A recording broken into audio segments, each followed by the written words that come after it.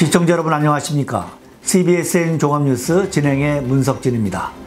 이 프로그램은 뉴욕 한국일보, 뉴욕 중앙일보, 기동뉴스 협찬입니다.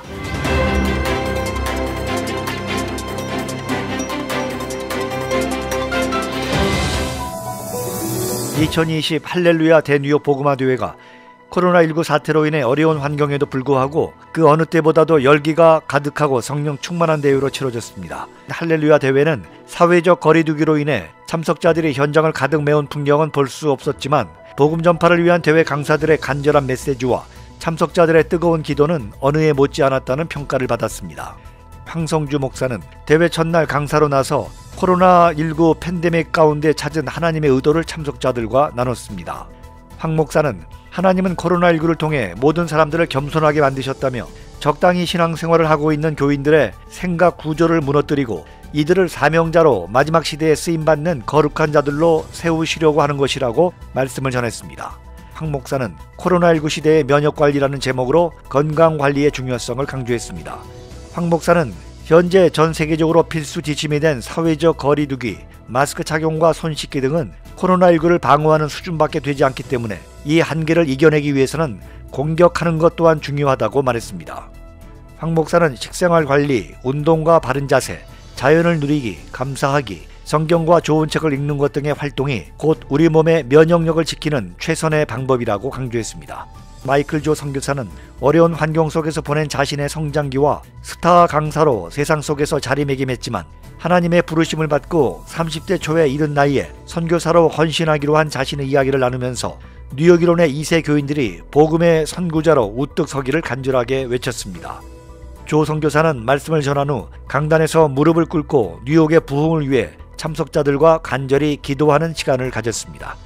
특히 대회 마지막 날 특성 연주자로 초청된 찬양 사역자 최명자 사모는 일리노이주에 거주하고 있어 물리적 거리에 부담감이 있음에도 초청에 깊은 감사를 뜻하며 단숨에 뉴욕으로 날라와 감동 깊은 찬양을 선사했습니다.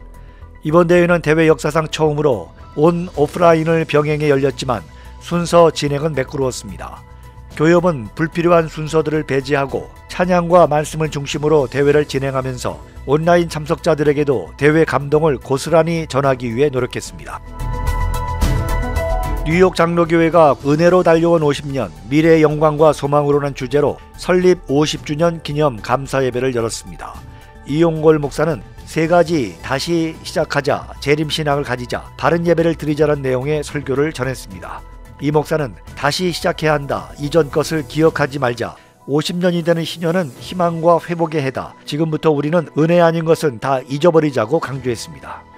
김학진 담임 목사는 2018년 7월 뉴욕 장로교회 제5대 담임으로 부임했습니다. 한편 이날 기념 감사 예배에서는 퀸지아니 교회 김바나바 목사가 축사를 전했고 분당 우리교회 이찬수 목사, 워싱턴 중앙장로교회 류웅열 목사, 뉴저지 초대교회 박형은 목사, 대뉴욕지구 한인교회 협의회 회장 양민성 목사가 영상으로 축사했습니다. 최명자 사모가 감사 찬성으로 특별 찬양에 감동을 주었습니다.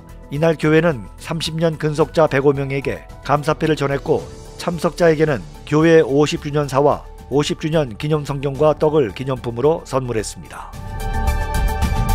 잉글랜드 프로축구 프리미어 리그 EPL에서 사우샘프턴을 상대로 4골을 몰아친 토트넘의 손흥민 선수가 영국 공영방송 BBC는 물론 EPL 2주의 팀에 모두 이름을 올리는 기쁨을 맛봤습니다. 손흥민의 4골을 모두 도우며 한 골 4도움을 작성한 해리케인은 두 명단에 모두 포함되지 않았습니다. BBC가 22일 발표한 가스 그룹스의 2주의 팀에서 손흥민은 리버풀의 사이도 마네, 에버틴의 도미닉 칼버트 루인과 함께 베스트 11 공격수로 선정됐습니다. 손흥민은 20일 사우샘프턴과의 2020-2021 EPL 2라운드 원정 경기에서 시즌 첫 골을 포함해 헤트트릭을 넘어 무려 4골을 폭발하며 토트넘의 5대2 역전승을 이끌었습니다. 2015년 8월 토트넘에 입단한 그는 5년 만에 EPL 경기에서 첫 헤드트릭을 작성하고 자신의 정규리그 한 경기 최다 득점 기록도 세웠습니다. CBSN 종합뉴스 지금까지 진행의 문석진입니다. 시청해주신 여러분 대단히 감사합니다.